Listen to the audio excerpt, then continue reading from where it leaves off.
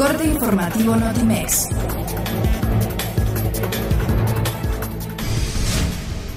La Secretaría de Salud aseguró que la prueba de Tamis neonatal no se suspendió ni se suspenderá en el país, aunque sí se revisa el contrato que el sistema de salud tiene con la empresa con la que se realiza este servicio. El presidente Andrés Manuel López Obrador aseveró que es un buen signo de democracia que el Senado de la República haya rechazado por segunda ocasión las ternas que él envió para la Comisión Reguladora de Energía, porque demuestra que se está viviendo una etapa nueva en el país donde hay discrepancias y pluralidad.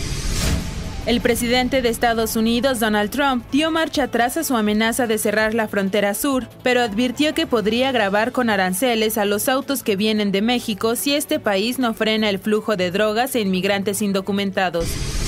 La Profeco informó que luego de analizar 22 presentaciones de aguas alcalinas en el Laboratorio Nacional de Protección al Consumidor, 19 de estas ofrecen en sus etiquetas beneficios no demostrados.